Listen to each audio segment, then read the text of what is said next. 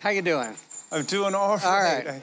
I, I, Um, I wanted to start with a kind of broad focus question. So, the impeachment that you managed garnered more votes for conviction than any other in history. presidential. impeachment. Presidential, yeah, right. There have been a few judges who are kind of footnotes to history, but I think I think established among you know a consensus, even among those who voted to acquit the president, that Donald Trump had worked to violently resist the peaceful transfer of power, which is about as fundamental and offensive to our shared values, Democrat, Republican, Independent, just as Americans, as we've seen at least si- since the Civil War.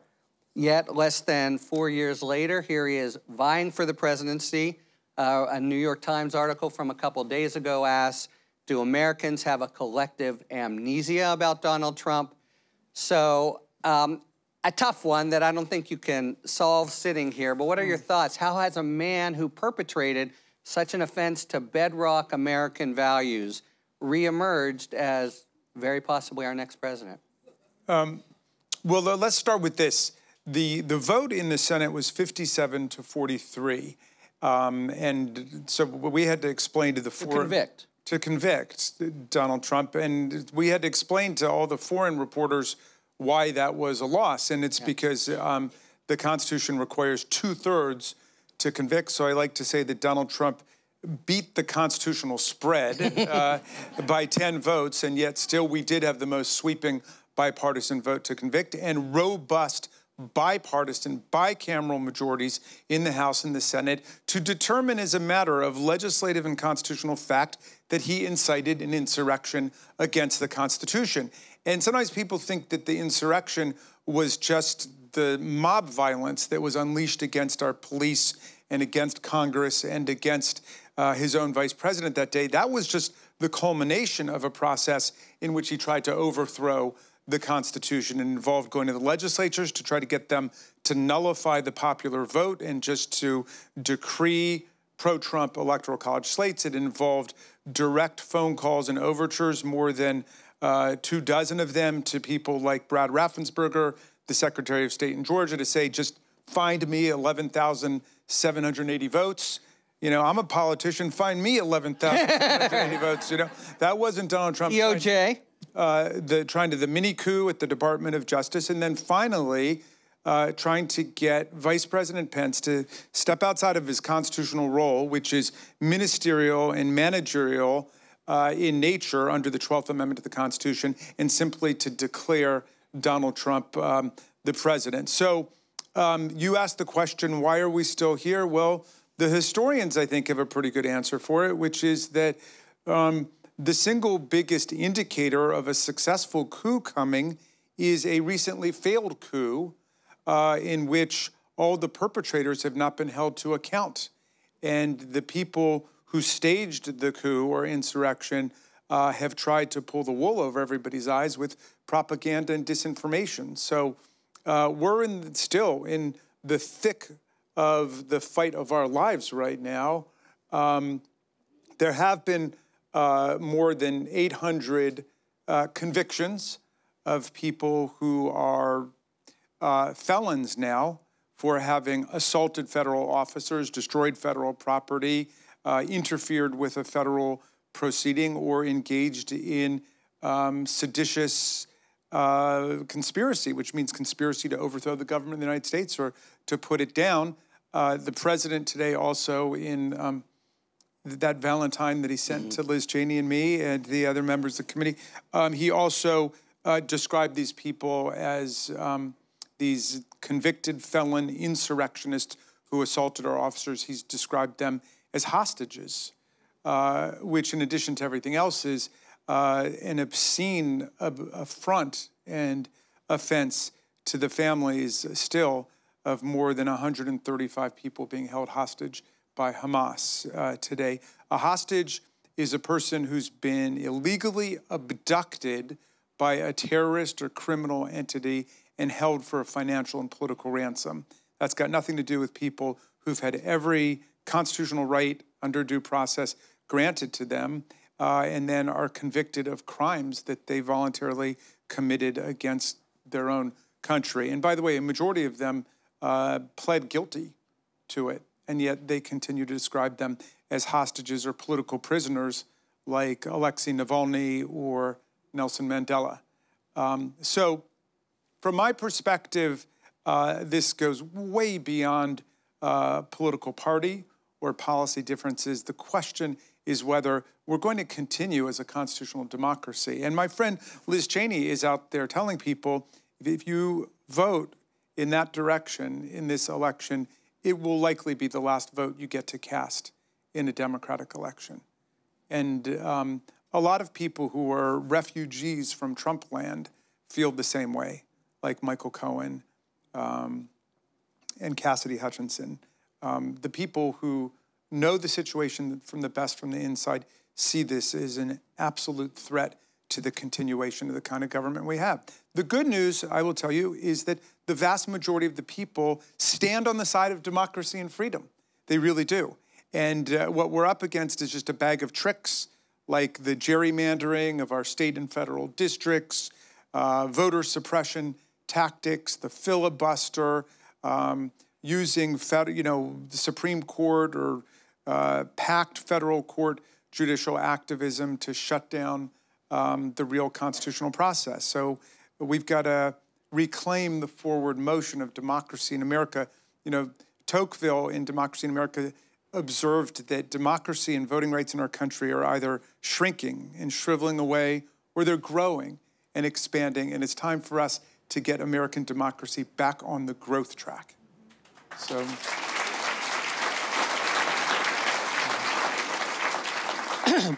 Let me follow up with the American democracy point you made. Uh, to many of us, Trump seemed this singular figure who came out of nowhere, but his ascent dovetailed with the rise of autocracy in many countries in the world. What is it about this moment in history that is bringing so many countries to flirt with autocracy? Or is it maybe the reverse and Trump somehow just sensed and connected to the mood of the times? It's not just here at home. Well, there are a number of convergent trends around the world. Um, I, I, won't say that over determined the rise of Donald Trump, but certainly supported the rise of Donald Trump. And the biggest one in my mind, and this is perhaps the thing that we did not emphasize enough in our final report of the January 6th committee, um, is uh, the internet and social media, um, which has allowed extremist groups and individuals, one, to find each other all over the place, to work together on a global basis, um, to uh, spread propaganda, disinformation, big lies around the world, around the country, and then to coordinate like January 6th, which was a, uh, a very well orchestrated, well choreographed um, hit on the US Congress and the Capitol, where uh, it was staged like a, a military yeah. campaign. Um, and so I, uh, you know, we have some of that in our report, but uh, I think that we need to take very seriously what's going on um, with social media. And it's not that propaganda is new or disinformation is new or the big lie is new. All of these are uh, well rehearsed uh, tropes and mechanisms from the last century. It's just they're supercharged on the internet and the social media where the propaganda is instantaneous, uh, the disinformation is deep, right? Um, didn't uh, was it Mark Twain who said the the a lie can get halfway around the world before the truth can get its shoes on? Right. That was before the internet, right? That was before social media, and so it's very hard to dislodge it. Look, we had 60 federal and state court judgments decreeing that the election was a perfectly fair, valid election, rejecting every claim of electoral fraud and electoral corruption.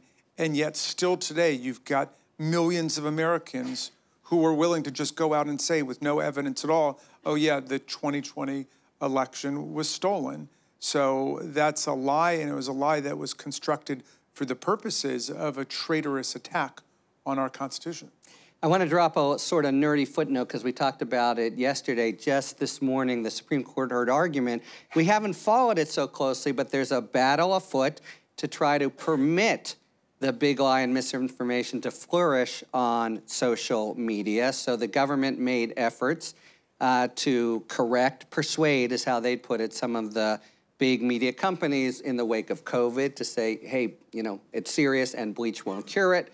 Uh, uh, hey, the, here's what happened with the election. And there's a well organized bunch of litigators who are in the Supreme Court this morning saying that's a violation of our free speech rights. You know, you, you have your view on COVID, we have ours, and you, government, can't try to persuade social media folks. That's going to be just in the social media realm, but more broadly in this battle, pretty. Um, I, I, see, I see a sort of Cheshire cat snicker here. What do you? Well, no, I'm just I'm remembering uh, one day when my um, esteemed colleagues uh, Marjorie Taylor Greene and Lauren Boebert uh, were on the floor and making this argument, yeah. like who is the government to try to correct social media right. if somebody's put up a website saying the election is on Tuesday between three and six, right. uh, or it's Saturday between eight and four. And the fact is, media companies are now shying away from doing it because they're getting sued right and left by organized yeah. sort of groups. Yeah. But I mean, if you think about it,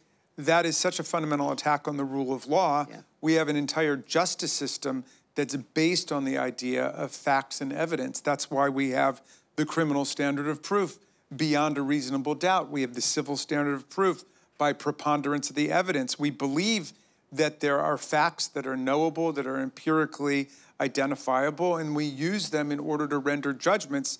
And they want to say, well, you know, if Vladimir Putin now uses artificial intelligence to put up 50,000 websites telling everybody that the election is next Friday instead of this Tuesday, the government can't even notify Facebook or Twitter or the public that the First Amendment. They're violating the First Amendment by forcing speech yeah. on. Right, exactly. But it's of course it's not an enforcement of speech. If you want to believe uh, that the election is next Saturday, you can tell people that if you want to. But isn't it the role of government to tell people when the election is? I mean, you would think. Or if bleach uh, helps COVID, you know. Yes. Yeah. Well, well, there, there we go. Um, so I, you know, yeah. I, my dad once said uh, that democracy needs a ground to stand on, and that ground is the truth. Um, and if we're going to have democratic government in politics, we, we can't lose our belief in the truth and our ability to arrive at it, at least about very simple things. I can see where you got your moral clarity. Um, I, you know, I want to go back to this point you made about people still continuing to believe, say, the election was stolen. It breaks down. It's the there's a majority of Republican Party that now will uh, says that in polls, and it just strikes me that any serious diagnosis of what ails us as a country has to zero in on the role of your colleagues in the Republican Party that you know are utterly in Trump's thrall and afraid to defy him.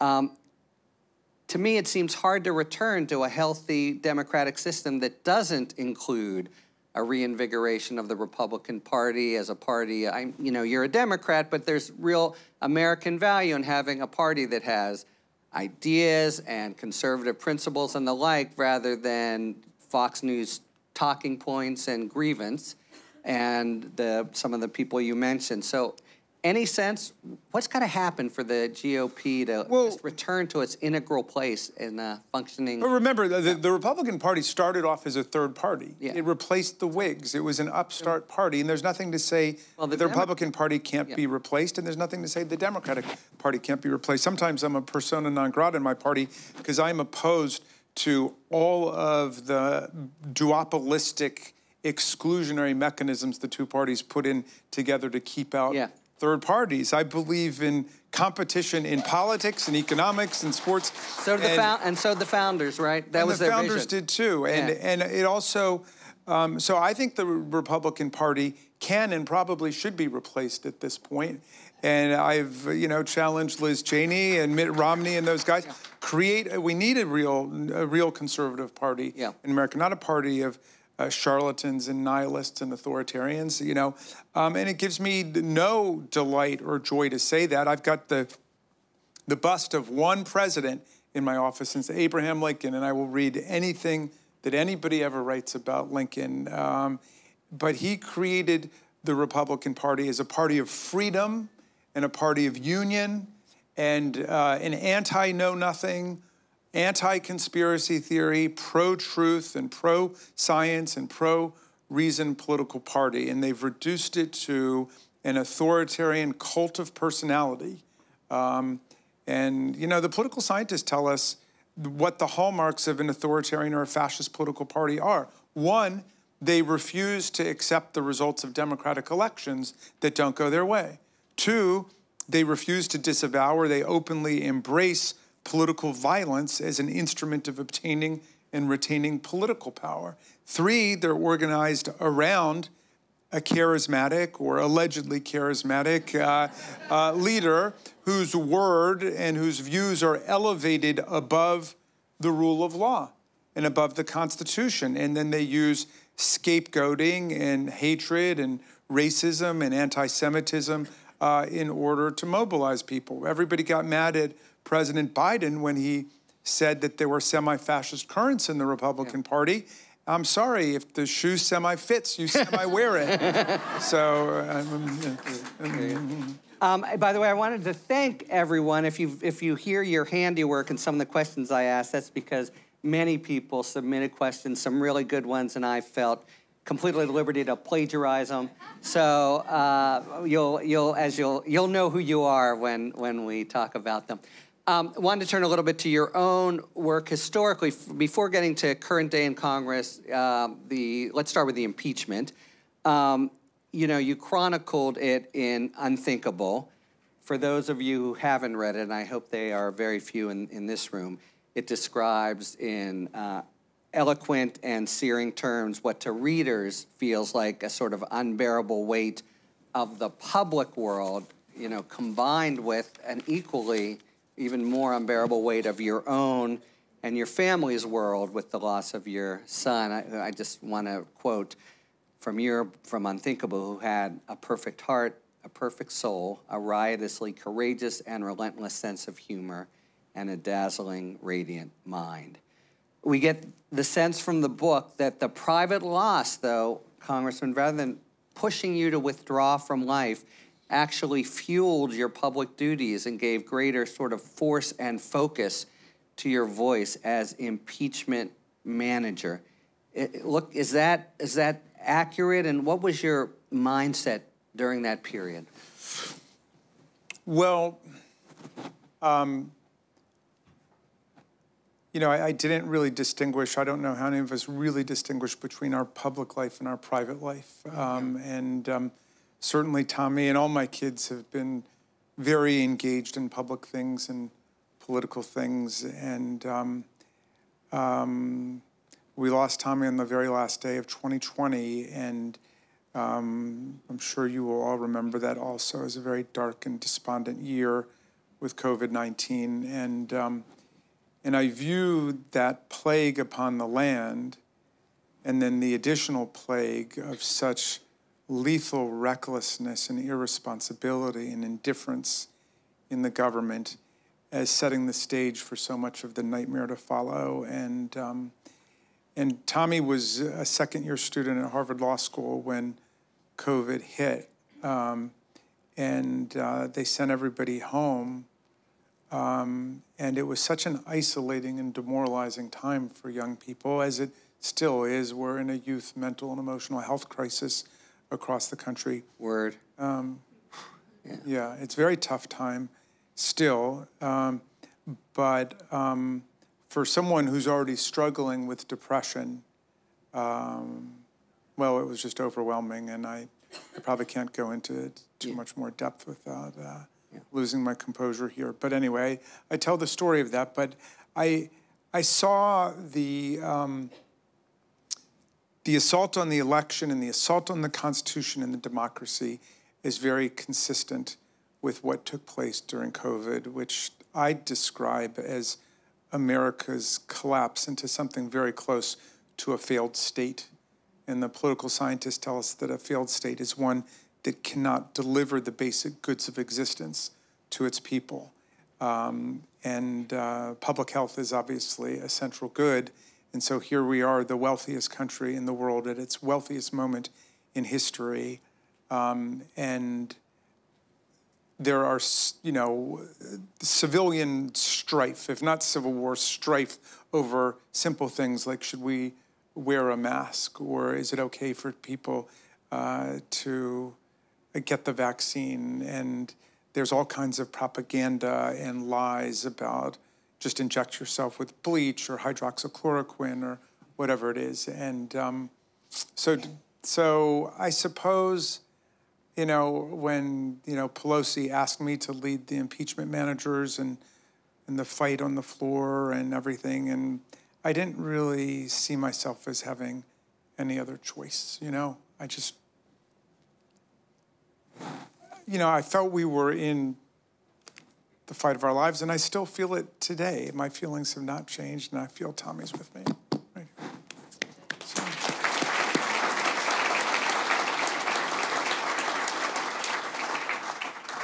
Thanks. Um, let's move to your to the uh, a second large act here. Um, fall in your you served on the January 6th Select Committee, and I, don't know if people remember, but at the time there was so much misinformation and debate about just what had happened. Not to mention marshaling all the kinds of witnesses. It really seemed to, you know, even beyond um, bringing accountability to the offenders, just having some kind of official account of what the hell happened seemed like a critical and then kind of missing piece. So you guys did exhaustively document the conspiracy to overturn the election. Looking back a year and a half since the report's release, what would you see today as the legacy of the committee's work? Well, I think we heard about it this morning. I mean, I, I, I don't think um, you know, our friend Mr. Trump would be so upset with the committee um, yeah. had we not done our job and told the truth to America. Um, and they've not laid a glove on the report. They've not found one single factual inaccuracy. Um, you know, sometimes they're out there saying, uh, well, no, it was really Antifa. Antifa that did it. Of course, we didn't find any evidence of Antifa's presence. It, it, it always cracks me up that half the time they're saying Antifa and the FBI really did it, and the other half of the time they're down at the DC jail protesting for the release of Antifa and FBI agents who they say are in there. Um, and uh, and uh, Trump today described them as great heroes and patriots and so on. But um, they've not been able in any way to uh, challenge the report of what happened. And it was not only our first violent insurrection uh, that directly hit the Capitol, because that didn't even happen during the Civil War, um, but it was also the most documented violent insurrection in American history, maybe world history, because everybody was filming. All these jokers brought there, right? Yeah, and people were bragging about it, and they were very excited about it. Yeah. Um, and so we were able to doc, you know, and. Uh, the, Mike Johnson and uh, Jim Jordan and those guys were saying, oh, you know, you didn't release all of the videotape. The videotape that wasn't released was basically of a hallway on the second floor of the Longworth House office building where nothing happened for hours and hours and hours. And that's, you know, so we just released everything. And you know what? They didn't come back to challenge a single thing. Right. Then they dropped it after they got all the videotapes. Did you hear anybody get up and say, oh, we found the big smoking gun. You know, uh, no, it never happened. Um, we were able to document what happened. And, and we all saw Trump's speech where he got up and he said, You got to go and you got to fight like hell. And if you don't fight like hell, you're not going to have a country anymore. And when there's fraud involved, it's a whole different set of rules. And I'll be there with you, and I'm going there with you. Um, and 150 of our officers ended up with broken arms, broken legs, broken noses, heart attacks, strokes. Uh, many of them had to leave policing, like Sergeant Gonell can no longer be an officer because of his injuries to his, uh, his left foot, his right arm. officers who can't raise their arms um, anymore, post traumatic stress syndrome. And we've got people calling the insurrectionists who did that heroes and hostages, the people who attacked our officers and tried to overthrow our Constitution.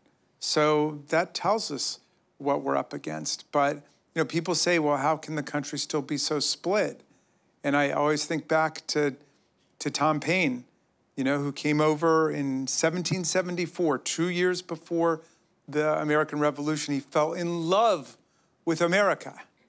You know, he said, if this country lived up to its ideals, it would become an asylum to humanity. Not an insane asylum, you, okay? but a place of refuge for people fleeing political and religious and economic oppression. But, and he wrote Common Sense, which was the document that launched the American Revolution. But even in 1776, he was saying half the people are wandering around saying, You can't beat a king. You can't really beat a king. The king will do anything. You can't beat a queen. You can't beat the royalty. You can't beat the fusion of church and state. And so he, he wrote uh, this great pamphlet called The Crisis. Um, and, uh, and I love this passage. And uh, whenever I speak it, uh, Nancy Pelosi tells me I've got to update the language so it doesn't offend modern sensibilities because she said Paine was a feminist and that he was. And so, but anyway, he said, these are the times that try men and women's souls. Uh, the, uh, the, the summer soldier and the sunshine patriot will shrink at this moment from the service of their cause in their country. But everyone that stands with us now will win the love and the favor and the affection of every man and every woman for all time. Tyranny, like hell, is not easily conquered, but we have this saving consolation. The more difficult the struggle, the more glorious in the end will be our victory. So I think about that all the time. So. Mm-hmm. Beautiful. I know you're a Shakespeare buff, and it reminds a lot of St. Crispin's speech from Henry, the He Who Stands With Me. Yeah he or she stands with me today. Um, all right, let's talk about the Supreme Court. One of you know, it's been a lifetime, um, uh, pa- you know, passion and um, vocation for you as a con law professor. Um, a few big cases out there. We actually crossed paths at the Colorado insurrection. Uh, case, and that's. I'm yeah. glad you completed that sentence. um, and so uh, I think everyone knows one's case involving the 14th Amendment provision that says anyone who has sworn an oath and then proceeded to help or engage in insurrection is no longer um, uh, qualified to hold, same as being under, under 35, same as being foreign born. You're not qualified. It's when the few in the Constitution to hold high federal office. Okay. Engage in insurrection or rebellion. Yeah. Or give aid and comfort to those who are All right, so definitely the feel, and you were there. I was there at the argument was they're not going for this, uh, and we and we kind of the and in fact it was more splintered than was reported in a way. But you know, nine uh, members of the court um, didn't go for it. Although this really interesting little again nerdy footnote: the the Sotomayor concurrence they rushed it out so quickly before Super Tuesday that uh, they didn't notice there was metadata still in there that demonstrated it had started life as a dissent. Um, but um, look, but you know, besides being one of the most prominent members of Congress, you spent a career as a con law professor. You're aware of the concerns that animated the court. What, what do you think about their concerns, and you know, what should they have done, Justice Raskin? Well. you know, I, I, I left academia for politics because I fell out of love with the Supreme Court. And I fell out of love with the Supreme Court a long time ago. And, um, you know, it's still got a little bit of a halo from that Warren Court period where the court really was on the side of the people, and we got Brown versus Board and Roe versus Wade and Miranda versus Arizona, the white primary line of cases. But look, let's be honest, for the vast majority of American history, the Supreme Court has been a profoundly reactionary institution that really has not been on the side of the people. I mean, think about the first century of our history. What did the Supreme Court ever do for enslaved people in the country? In the Dred Scott decision, it cemented the system of slavery into place. It said that the African and his descendants has no rights the white man is bound to respect. and defined the Constitution as a white man's compact. But then, even after the Civil War and the Reconstruction Amendments, in 1896, 30 years later, in Plessy versus Ferguson, the Supreme Court constitutionalized Jim Crow apartheid in America. And then it's not until that Warren Court period with Brown versus Board that you get an overruling of Plessy and a few decades of a different kind of Supreme Court where you really could say that they were proclaiming the rights of the people. And then a whole bunch of decisions undercutting civil rights, undercutting desegregation, Milliken versus Bradley. Um, and you get um, the Burger Court, you get the Rehnquist Court, you get the Roberts Court, and I believe that we've retreated to that baseline. And so for me, um, I don't put my faith in the Supreme Court. I put my faith in the people. That's why I'm in politics, okay? And um, I, the, that, that uh, oral argument was an amazing thing because nothing could be clearer than Section 3 of the 14th Amendment.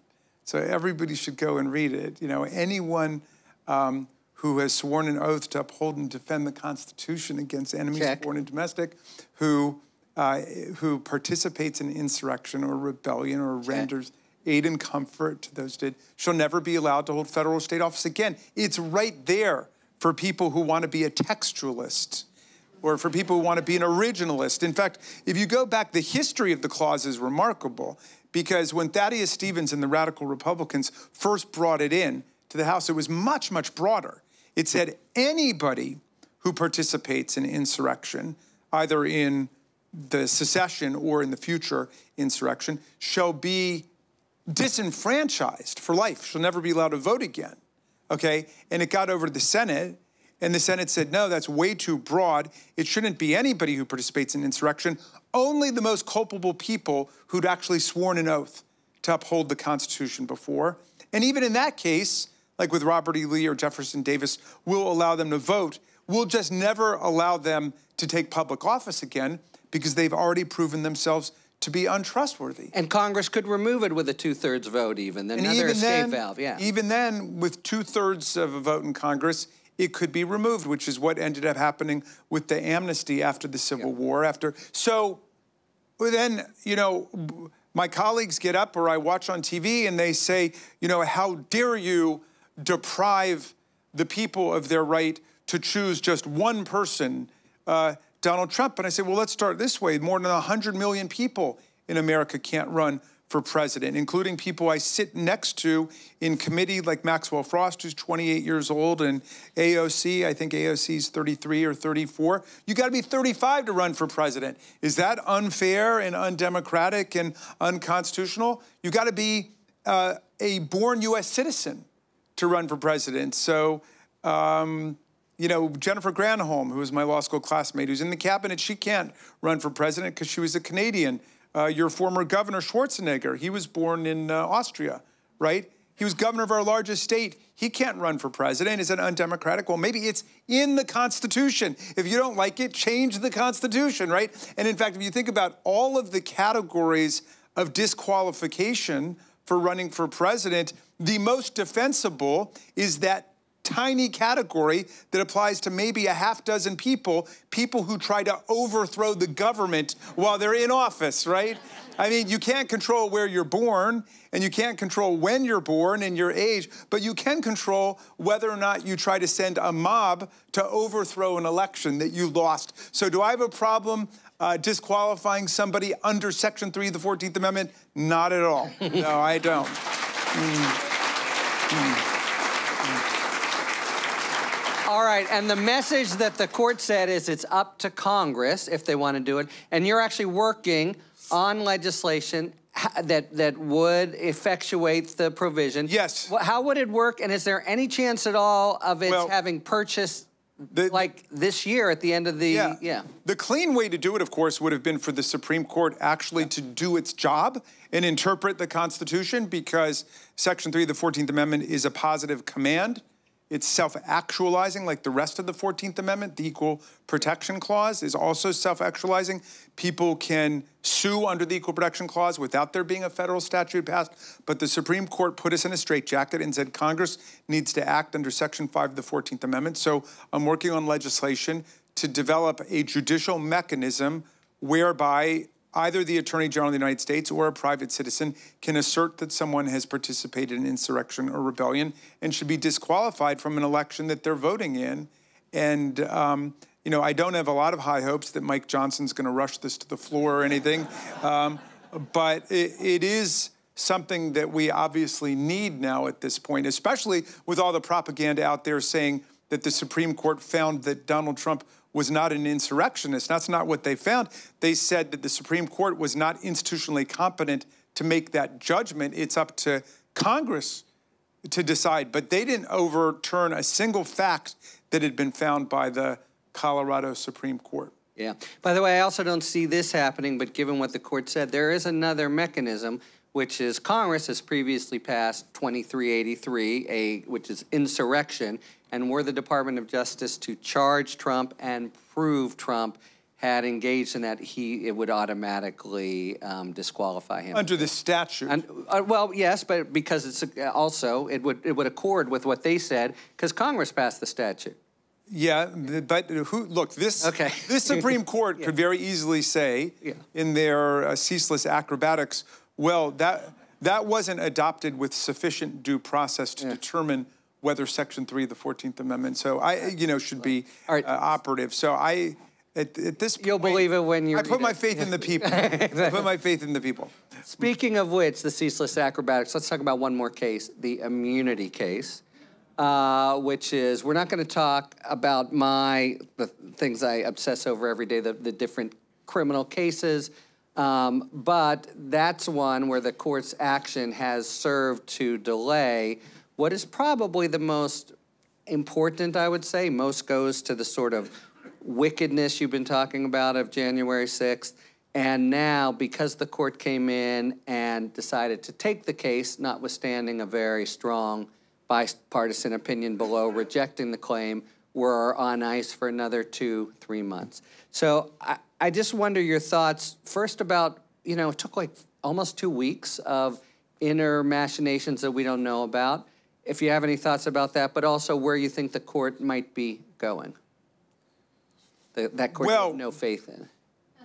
Um, the, the D.C. Circuit Court yeah. opinion was authoritative, uh, magisterial, and unanimous with two Democratic uh, nominated judges, one Republican nominated judge. And um, they rightfully said that the claim that the President of the United States can engage in crimes while in office and then not be prosecuted for them ever unless first impeached and convicted is a direct uh, assault and affront to the Constitution of the United States. We have no kings here.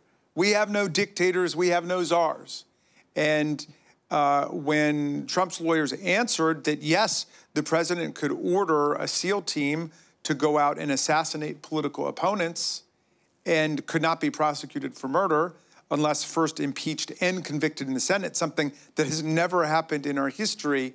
Um, that was a statement of complete lawlessness and an aspiration for dictatorship. If you think about it, if, if what they're saying is the president can order assassinations of rivals or anybody he doesn't like for whatever reason, and then can't be prosecuted unless first impeached by the House and convicted by the Senate, it's a great incentive to start murdering members of the House and the Senate because you could deny the majority that could theoretically convict you, right?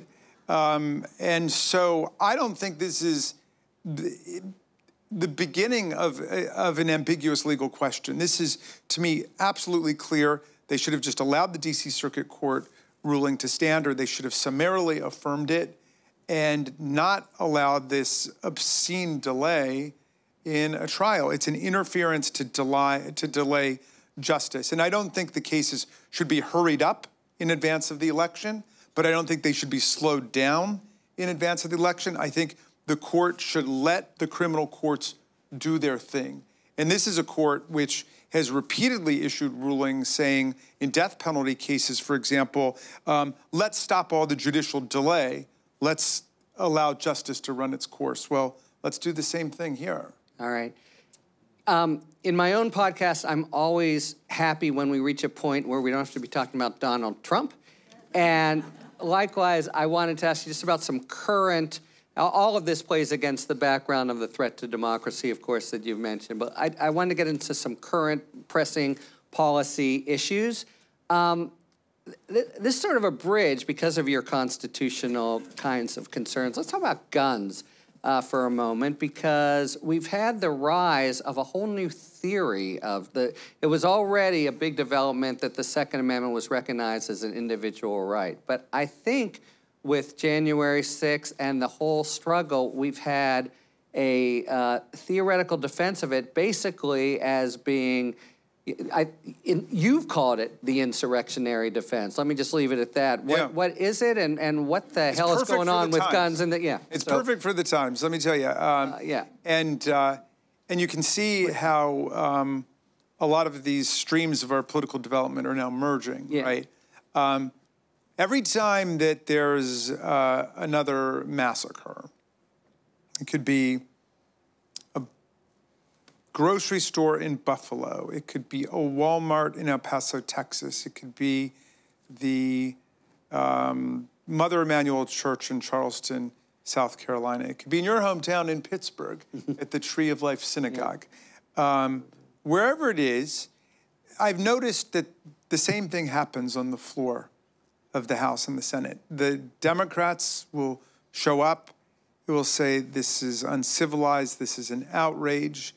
It's a breach of the social contract. We need to act. We need a universal violent criminal background check to close the loopholes in the Brady law so people can't obtain guns online or at private gun shows without a background check.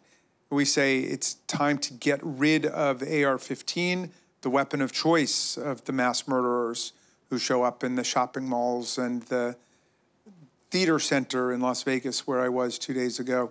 Um, and um, then our colleagues across the aisle, they will get up um, with T and P, thoughts and prayers, just to save time. Uh, and they say there's really nothing that can be done because the Second Amendment guarantees to the people the right to obtain whatever firearms they want because the purpose and the meaning of the Second Amendment, they say, is to give the people the right to overthrow the government if the government is to turn tyrannical. So, uh, my colleague Matt Gaetz says the whole purpose of the Second Amendment is to give the people the power to engage in a rebellion if the government is turned tyrannical. My colleague uh, Lauren Boebert, she says the Second Amendment's got nothing to do with hunting unless you're talking about hunting tyrants. Okay, so we've got a full blown new legal theory of the Second Amendment, which comes from the NRA when you trace it back. They're the ones who got that started. Well, um, how do we think about that? Let's start with this. We've just had uh, more than a thousand people arrested for a violent insurrection against the government. Have any of them had charges dismissed because of their constitutional right to overthrow the government, their constitutional right to attack the police? None. I know this one. Yeah. No, no convictions no convictions reversed, uh, no uh, indictments uh, quashed. Um, any Supreme Court rulings to this effect during the Civil War when there was an insurrection rebellion? None whatsoever. In fact, if you just read the Constitution, it completely debunks and refutes everything they're saying. Start with the Second Amendment itself. They say Raskin wants us to repeal the Second Amendment. I say, no, no, no, no, no. I don't want you to repeal the Second Amendment. I want you to read the Second Amendment, okay? a well regulated militia being necessary to the security of a free state, comma, the right of the people to keep and bear arms shall not be infringed. Nothing in there about insurrection, rebellion, revolution, violent attacks on the government. But we can go much further than that. Check out Article 1, Section 8, Clause 14 says Congress has the power to call forth the militias of the states in order to enforce the law repel invasions, and suppress insurrections. Is it possible that the Constitution, in one place, explicitly gives Congress the power to suppress insurrections, but then in invisible ink, in another part of the Constitution, gives the people the power to engage in insurrections against the Union, right? Well, they say, no, the people can form the militia, the people are the militia. A well regulated militia means a militia that's regulated by the government. Article 1, Section 8, Clause 15 says the state legislatures appoint the officers of the militias, and Congress has the power to arm and organize and discipline the militias. It, the militia is an intergovernmental enterprise. The Proud Boys are not the militia. The Oath Keepers are not the militia. The Ku Klux Klan is not the militia. All 50 states have laws that ban private militias, and Congress needs to have one too. I'll give you a couple other um, places in the Constitution that decisively refute this. The Republican Guarantee Clause says Congress shall guarantee to the people of the states a Republican form of government, a representative form of government, um, and shall assist them in putting down domestic violence. Congress has a responsibility to put down domestic violence. People don't have a right to engage in domestic violence. The treason clause, the only place in the Constitution where a crime is defined, defines treason as levying arms against the Union or assisting the enemies thereof, giving aid and comfort to the, the enemies thereof. And I point all this stuff out to my colleagues in the Judiciary Committee or the Oversight Committee on the floor, and they only come back with two things. One, they say, well, what about Patrick Henry? Patrick Henry said, give me liberty or give me death, which most certainly he did. It was a great bumper sticker in the 18th century, I, I suppose. He was an anti federalist from Virginia who voted against the Constitution. So, what does that have to do with the interpretation of the Constitution? It's like if you turn to um, Jefferson Davis to interpret the meaning of the 14th Amendment or the 13th Amendment. It doesn't make any sense. And then, more plausibly, but also equally wrong, they say, well, what about the Declaration of Independence itself?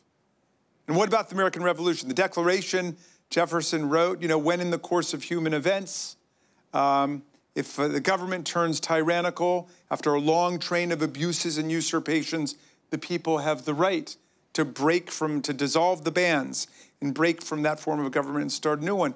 Yes, absolutely. But that's completely irrelevant because Jefferson never cited the Magna Carta or the British Constitution to do it, he cited natural law.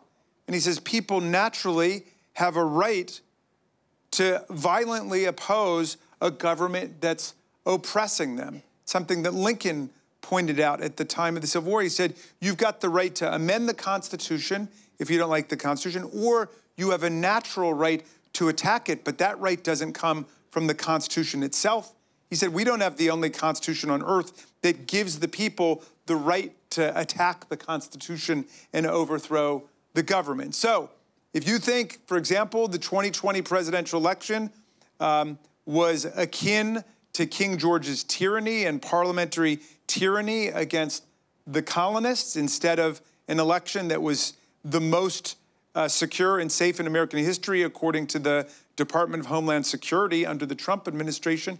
Um, if you don't like the 60 federal and state court rulings which upheld Biden's victory by more than 7 million votes, 306 to 232 in the Electoral College, if you think that that's tyranny, you've got every right to come and try to overthrow the government and raise arms against us. But if we stop you, if we catch you and we arrest you, and you're prosecuted under the laws of the United States with every due process right afforded to you, but you are convicted, like Stewart Rhodes, the Yale Law School graduate and the leader of the Oath Keepers, who's going to jail for 19 years, we will put you in prison for engaging in insurrection against us. No, you don't have a right to overthrow the government of the United States, and you don't have a right to have machine guns, and you don't have a right to have AR 15s. Just read Justice Scalia's opinion in uh, District of Columbia versus Heller, where he determined the individual right to possess guns under the Second Amendment, but he said it's a right like every other right in the Bill of Rights, cabined by the public safety, the public welfare, the public health. So he said it does not include your right to have dangerous and unusual weapons. It doesn't include your right to take guns into public schools or city halls or courthouses. No, he established our right to pass a reasonable gun safety regulation. So just read the Second Amendment. We can have perfectly constitutional gun safety regulation that saves thousands of lives a year in America, and that's what we need to do. Yeah.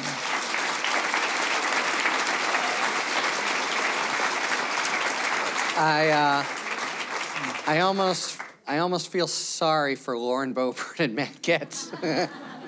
um, okay, uh, very well. I, I just got to say, what a tour de force, and how lucky for the country that you bring all you bring, but also, you know, total in-depth constitutional knowledge. Um, I, the, thank you, I, I, Harry. Thank you for saying that. And I, I will say, I mean, I, uh, I, I, don't. The Constitution not a suicide pact is the other one that you might. Yeah. Well, the, yeah. there is that. Um, but I mean, I I offer to my friends all the time. I said, let's let's have a seminar. Yeah. I, I am now actually doing a constitutional class yeah. for the country. Um, because there's such civic sure. illiteracy and such a, a, demolition of critical thinking. Tell, tell, people where the, eh, you know. And so, uh, so it's with um, uh, Brian Tyler Cohen, who's yeah. in California, mm-hmm. and uh, and we go on. And uh, I just uh, did one on the Second Amendment um, last week. I think it's going to go up this week. Uh, that really gets into all of the case law, and we're basically it's looking at ten. Um, right wing fallacies and fever dreams about the Constitution and what the Constitution really stands for, um, and uh, to attempt to get into it uh, in depth. And the Constitution is something that should bring us together, uh, but it means that we've got to study it and we can debate it and so on. But there, you got to start with the language of the Constitution, and you, you can't just make stuff up. You know, You're not supposed to anyway. Yeah. All right, let's talk briefly about reproductive rights. Uh, there, the um, cataclysm to the country of the Dobbs opinion, and and yet in the aftermath, there seem to be certain uh, states that are totally going for it. I think about Alabama and their and the recent ruling about how IVF. yeah, life begins at conception. Therefore, if yeah. you have IVF or use of an IUD or whatever, it's tantamount to murder of a human being. And there's a little sense to me of uh, among some of these more red states that it's like, you know, the dog who caught the car. And what do they, how do they try to kind of get back at least a little bit?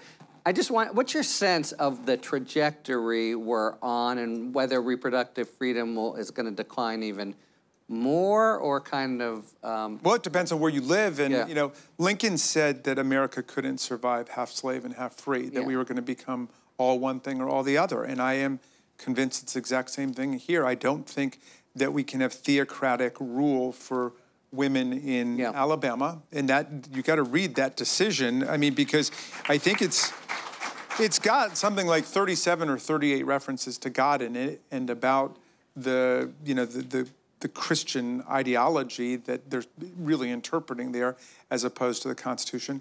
Um, but I don't think we can have half the country that's ruled um, by um, religious zealots of particular kind, and then half the country that is a free choice and standing up for women's health care and reproductive freedom. I think we're going to become all one or all the other. And uh, that's why I hope this doesn't sound too partisan. I know I've been scrupulously nonpartisan all day, uh, but uh, I mean, this is why I'm fighting for, you know, for uh, for the Democrats to win the House back and um, for the president, because I think that this is issue number one, and the women of America are going to lead us, as uh, President Biden pointed out at his magnificent State of the Union address, where he, you know, after every law and constitutional value being trampled by the other side, I, I had to cheer President Biden for actually violating a taboo a taboo that you don't tell the truth to the Supreme Court when they're sitting right in front of you, and and he did, uh, and I, I, was, I was. Uh, I was absolutely amazed and exhilarated by it because, you know, they had written in the Dobbs decision that, um, you know, it wasn't that big a deal. Women are not without political and electoral power. And he said, you're about to find out how much. Um, and, uh, you know, I appreciated that. So, I no, I don't think it can last. But I, I think uh, it's, it goes to a broader point because as we're seeing with birth control, as we're seeing with IVF, it's not just about the abortion issue. Right. Um, it spreads a lot farther than that. And, and I know this because uh, Mike Johnson, actually, I'm kind of friendly with. We served on the Judiciary Committee together for seven years, and we've debated this stuff for a long time. And I, I can give you a dozen examples of what they want to do. They came in to the uh, Judiciary Committee one day, said Texas has just endorsed the Ten Commandments. So we want to endorse the Ten Commandments. I said, gee, Mike, you know, you're a constitutional lawyer. What about the Establishment Clause? What about the clause that says no religious tests for public office? No, no, no, no. Uh, the Ten Commandments, it's the cornerstone of the Constitution and the Bill of Rights, and we want to uh, endorse it. So I went to the Rules Committee. I said, if we're going to put that on the floor and we're going to be voting on the Ten Commandments on the floor, we should have to vote for each commandment separately, okay? And and uh, you can't you can't vote for any commandment you've ever violated because uh, you'll be putting the name of the Lord in vain. You'll be uh, violating the third commandment while you do it. One of my colleagues said, "You're making a mockery." Oh, Raskin. No, you're making a mockery out of the whole thing because your resolution is not just unconstitutional; it's blasphemous too to the people uh, who are believers. And so, you know. Um, it, it, it, doesn't end with these people. Just not long ago, one of one of the Freedom Caucus people got up and made a speech saying that uh, the moral downfall of America was in 1962 in Engel versus Vitale when the Supreme Court banned prayer in the public schools. And I got up and I said, actually, no, the Supreme Court never banned prayer in the public schools. As long as there are pop math quizzes, there will be prayer in the public schools, okay? Any, anybody can pray whenever he or she wants to pray. It's just the Supreme Court said back in the Warren Court era uh, that the government can't compose a script and compel you to participate in it. That's all that the Supreme Court said um, in Engel versus Vitale. But anyway, they, they, want to restore prayer to the public uh, schools. They want aid going directly to churches and so on. And the reason we're the most religious uh, country on earth is precisely because we've separated church and state. I've got atheist constituents who write me letters saying, yeah, why don't you put organized prayer back in the public schools It'll turn all the kids into atheists. you know, so. Um. all right, let's fast forward to the very present. Uh, so I, I watched with real interest because of the work I do, the Robert Hur hearing last week, and that was about his this report on Biden. I actually don't want to go into the substance of it so much, but it was of an ilk that I think you confront now, where it's theatrical. There are, it's just a war. Uh, no one's listening. It's a war of sound bites on either side, and you know it's good, you're going to have five minutes of Republicans saying their stuff and then back. Yeah. I just, I, I just want to know what it's like. You know, you're in the minority, and if politics is the art of the possible, what do you think you can achieve in these kinds of sort of theatrical um, hearings, and what, you know, about partisanship versus non-partisanship does it, you know, evoke for, for you as a legislator? Wow, there's a lot of questions in that one. Yeah. Um, well, let me first let me start on the hearing. I mean, that hearing obviously never should have been called. Um, the very first sentence of the report was that criminal charges are not warranted against President Biden. Um, in any way. And then the next paragraph was about how he offered complete and voluntary cooperation. And the next one was basically contrasting um, President Biden, who had volunteered to come and testify and testified for two days after the October 7th terrorism, he, on October 8th and 9th, um, and turned over all the documents. And when they found, you know, a handful of classified documents, they immediately called the archives and called the uh, the FBI and Hur, who's uh, you know a, a Republican special counsel. He himself contrasted it with Donald Trump, who repeatedly denied it. Um, he hid documents, he destroyed documents, he tried to get his lawyer not to turn uh, documents over. And then um, when finally they subpoenaed them, turned over some of the documents and withheld the other, demonstrating complete consciousness of his guilt and his what his legal responsibility was. So I saw it as an exercise in legislative masochism that they would call him in to testify about all this stuff, but they wanted to make fun of uh, President Biden's memory. And he and Biden even got rehabilitated at that hearing because of it, because a number of members read the entire um, transcript of the interview where special counsel Hur complimented Biden, saying, My, you really have a photographic recall of everything that was in your house at that point, you know? But that didn't make it into the report. Um, so, I, you know, I, I, all I could say about that was, yeah, this is a memory test. It's a memory test for America, whether we remember fascism and Nazism and totalitarianism. That's what's really going on in the country today. Do we remember that? It's not a memory test for President Biden. And um, but you know, like the partisanship issue is interesting because I'm somebody, you know, as a professor, I start off not, or at least I started off with not very many partisan bones in my body. I mean, I really, uh, and also I'm a middle child, so I like to bring people together. And I, you know, when I was in Annapolis in the state senate, I was always working with Republicans um, as well as Democrats. And, you know, I guess th- there's a lot of hypocrisy that all of us engage in about partisanship. Everybody denounces partisanship, like right when we're on our way to our uh, party caucus meeting, where we go and figure out how to conspire against the other side. So, you know, I, I tried to write something at some point. I'll see if I can find that and give you guys, but about partisanship. And I guess the way I see it is this that in truth, when you think about it, political parties are a sign of health. They're kind of a sign of oxygen in a democratic political system. Because the, uh, the alternative to partisanship is a one party state. Vladimir Putin is what Viktor Orban wants in Hungary. It's what Xi's got in China, right?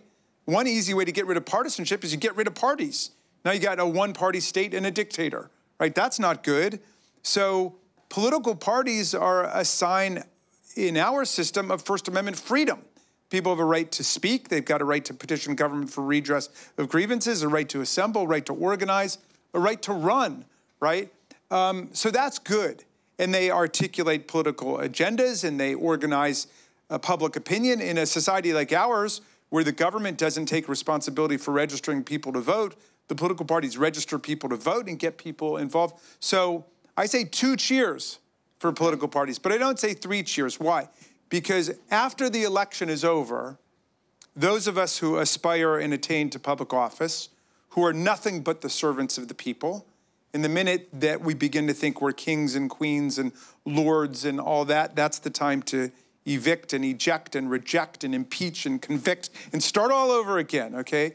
But when we're in, we've got to remember that we are not there just to represent the people who voted for us or our own party. We're there to represent everybody. And a lot of politicians will roll their eyes at this point and say, oh, you know, that's fanciful, that's, that's highfalutin academic stuff. You know that's not true. I know it is true, and I, and I tell you why.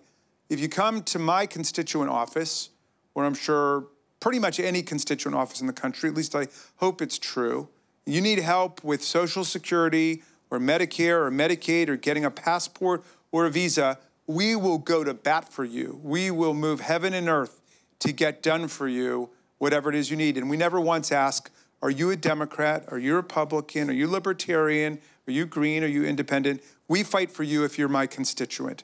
And sometimes, if the constituent services aren't that good in neighboring districts, we'll help you out anyway, okay? We'll go to work for you, regardless of what your party persuasion is. So when we got over to the Senate in the second impeachment trial, I told the senators it's just like that. You've sworn an oath to uphold the Constitution of the United States against all enemies, foreign and domestic, right? Without regard to political party. They took a separate oath as jurors. Literally, they took a separate oath to render impartial justice. And that word impartial resembles closely the word nonpartisan. It's really the same thing. When we want to do it, we know how to do it. And so it's a sign of uh, political decadence if all of us just lapse into being our party. And I've said to my GOP friends how much I love the history of their party. But I also say, with this guy who they've got now as their presumptive nominee, he was a Democrat a lot longer than he was a Republican. He wanted to run for president as a Reform Party person. He's a con man. He's not a Republican, he's a con man. And they, you know, they should not show him any party loyalty for what he's done. They show loyalty to their party like Liz Cheney and Adam Kinzinger by standing up for the great values of their party and not for someone who's going to exploit them. All right. We're about out of time, but can you stay another five minutes? Can we'll go to, so I'll let our organizers go. Uh, I want a uh, couple questions, uh, but since we're almost out of time, it's time for a lightning round, Congressman. Okay. You ready? Yes. First job. That means I can't filibuster? First job. Time's a going. First job. My first job? Yeah. Oh, my, I, I worked at uh, Hector's Greek restaurant uh, making gyros and french fries. Yeah. Boyhood hero. Um, well, I guess I suppose it depends on. Taking a lot of time here. Boyhood hero. I mean, I, I'm gonna I'm gonna have to say uh, Lincoln. Favorite spectator Bruce sport. Springsteen is still my boyhood hero. So, um, Favorite spectator sport. my my well uh, football. Stupid movie you could watch repeatedly. Probably what about Bob? Yeah. yeah. Dogs or cats? I'm a dog person, but I love the cat people too. But uh, kind of music on your car radio? just Bruce Springsteen, E Street radio. So. Best American political speech ever? Well, I, I'm a fan of uh, Lincoln's second, Second inaugural, right, It's got- and- gotta be. And the Gettysburg Address. All right. Yeah. Something people don't know about you? Hmm. Well, I mean, I you know, I aspire to play keyboards for the E Street Band. I, suppose. Uh, I was just with those guys in Phoenix because you know the Springsteen's going to be there and Time's a wasting. tomorrow. Okay. MAGA Republican you secretly like? Oh well, I, it's not so secret. I, I, I love Lauren Boebert. Uh, my colleagues call her Lauren Gropert, but I won't do that. Uh, and uh, I no, I think there's there's something to her. She's not like uh, Marjorie Taylor Greene, who they call a perjury traitor queen. Yeah. Not me, but so, And your favorite Southern California city near the Mexican border? that's got to be San Diego and La Jolla.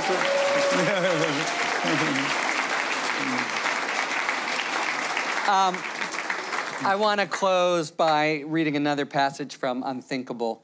You write that I've learned that trauma can steal everything from you that is most precious and rip joy right out of your life.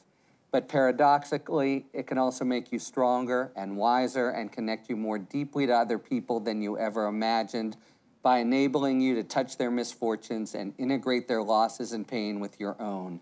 If a person can grow through unthinkable trauma and loss, perhaps a nation may too. Less than eight months, less than eight months, months out from an election which implicates not just policy directions, but the fate of our constitutional democracy, what gives you hope for our country's future? Well, my dad used to say when we were growing up, when everything looks hopeless, you're the hope. And uh, so I grew up with that sense of guilt, I suppose. And, uh, uh, but I, I derive a lot of hope from uh, the great freedom fighters and democracy champions of our past, people like Tom Paine and Frederick Douglass and Susan B. Anthony and my friend Nancy Pelosi, uh, the people who hang tough. And, uh, and I derive a lot of faith from uh, this new generation. And that's why, you know, in my campaign, when I raise money, I spend no money on pollsters or consultants or TV or radio or any of it. It all goes into a school for young people called Democracy Summer, and it's been um, it's been adopted by the Democratic Congressional Campaign Committee, and it's all over the country this year. So I'm hoping to get to meet thousands of these young people who give me a lot of hope because they're really they're beyond the racism, they're beyond anti-Semitism, they're beyond immigrant bashing, they're beyond homophobia. Unfortunately, they're a little bit beyond grammar too. it's a, a different problem. Uh, I've got a little bone to chew with them about that. But um, really, these young people are gonna are gonna save us, and we've got a lot uh, to learn from them. So I look to the future for hope. So. Please join me in thanking Congressman Thank. Jamie Raskin. Thank you, Harry. Thank you, Dan. Thank you. Thank you.